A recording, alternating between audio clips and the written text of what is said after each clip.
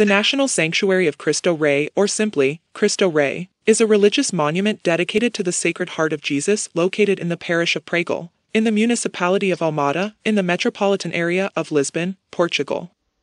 The sanctuary is located at an altitude of 133 meters above the level of the river Tagus. It was designed by the architect Antonio Lino, 75 meters high, where the statue of the Holy Redeemer with open arms facing the city of Lisbon, 28 meters high, was installed. The statue of Christ is a work of the Portuguese sculptor Francisco Franco de Sousa. The pedestal, including the statue, rises to 82 meters in height. The monument is the biggest tourist attraction in the municipality of Almada.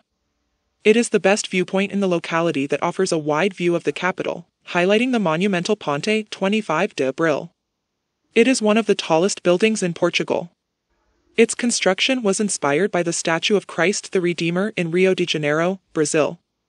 Its idealization began in 1934, during a visit to Rio de Janeiro by the Cardinal Patriarch of Lisbon at the time, Dom Manuel Goncalves Cerejeira, who upon seeing the Rio de Janeiro Christ the Redeemer was inspired to build a similar monument in Lisbon.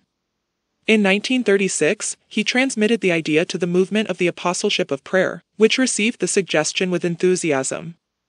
After sensitizing all the country's bishops, it had the official proclamation the following year, in the collective pastoral of Lent.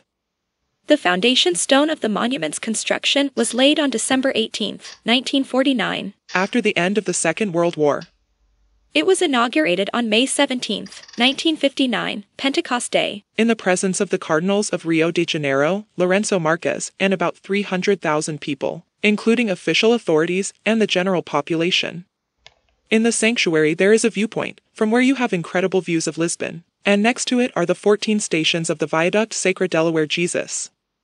During the visit, you will also see the Angel of Peace, Angel of Portugal, giving communion to the three little shepherds of Fatima, as in the apparitions.